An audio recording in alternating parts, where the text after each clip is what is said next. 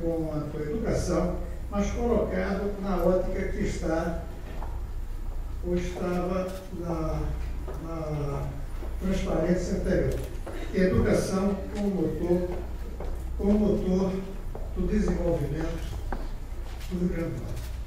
Eu não tenho condições de entrar nos meandros do Rio Grande do Norte, mas posso começar pelo Nordeste fazer uma pergunta. Vocês imaginaram se lá em 59, quando começou a Sudene, educação tivesse sido o motor principal do desenvolvimento? Eu não tenho a menor dúvida. E ia dar uma volta e ia se transformar na economia do conhecimento. Quando a Sudene começou, a economia era baseada na mecânica. Hoje ela é baseada no conhecimento. Isso aqui não tem valor por causa da quantidade de mão de obra. Não tem valor por causa de uma indústria mecânica.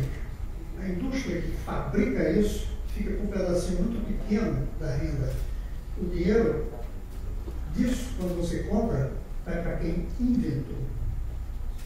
Vai para quem produziu a quantidade de inteligência que tem aqui dentro. Isso vale para o microfone, isso vale para o relógio, isso vale para o remédio, isso vale até para a água hoje, que a gente não toma mais pura, como ela sai da fonte. A gente toma depois de tratamentos que são feitos graças à inteligência. É outra situação se nós tivéssemos feito aqui o que naquela época fez, por exemplo, Coreia. Naquela época, a Coreia não estava numa situação melhor do que a do Brasil, talvez pior, saindo de uma trágica guerra fraticida entre duas partes dela. Mas escolheram. Nós estaríamos como a Irlanda, que 40 anos atrás estava igual ao Brasil. E quando teve a chance de entrar na comunidade econômica europeia, era mais ou menos o que Juscelino trouxe para o Nordeste com 34, 18, que o recurso está subindo, quando teve a chance de entrar, ele reuniu os políticos e discutiu o que, é que a gente vai fazer aqui nos próximos 30 anos. E disseram, vamos investir em educação, ciência, tecnologia e saúde. E lá para cá já mudaram diversos governos, mas não pararam de investir nesses três setores. Hoje, enquanto nós somos dos BRICS, países de alto produto, mas que exporta bugigangas e aqui e ali aviões, como o Brasil exporta, os que eu chamo FIX, Finlândia, Irlanda, Coreia e Suécia, exportam bens de alta tecnologia. Aí quando você compara o IDH dos BRICS e dos FIX, não tem como comparar, a não ser perceber a melhora substancial daqueles da educação. Quando você compara distribuição de renda, nem perto estamos. Quando você compara a página hoje, quando você compara o grau de corrupção, aí você vai ver como nós estamos atrás, apesar um produto elevado.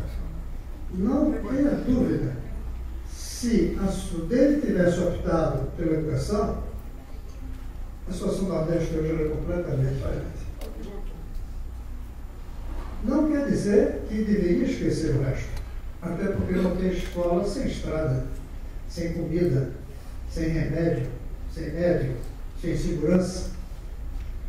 Mas uma coisa é você saber investir em tudo que é preciso. A outra saber o eixo, o motor é esse.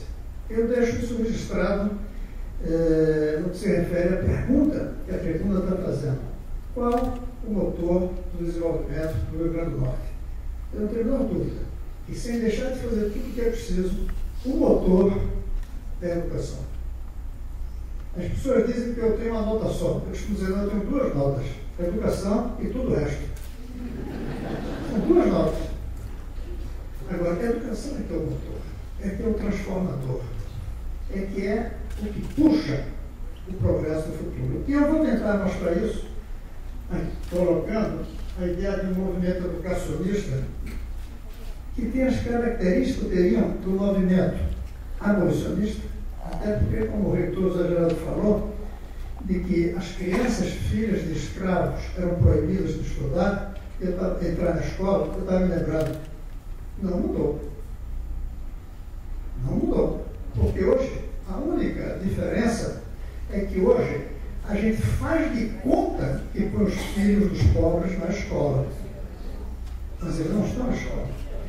Começa que o Brasil inventou uma coisa absurda de boa escola e escola ruim. Não existe escola ruim. Escola ruim não é escola.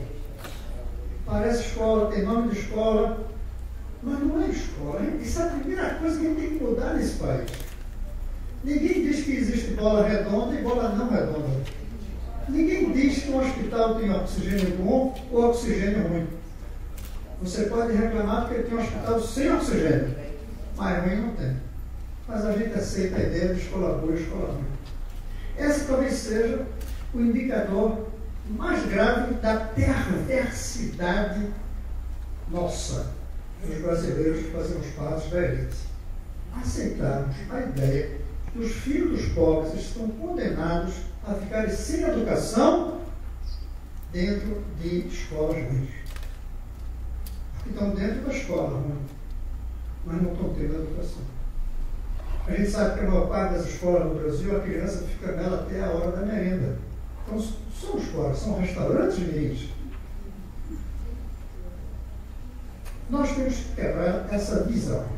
E ao mesmo tempo, duas outras coisas que estão quebrar e que eu sei que é quase impossível. Mesmo assim, eu vou continuar indo onde me chama.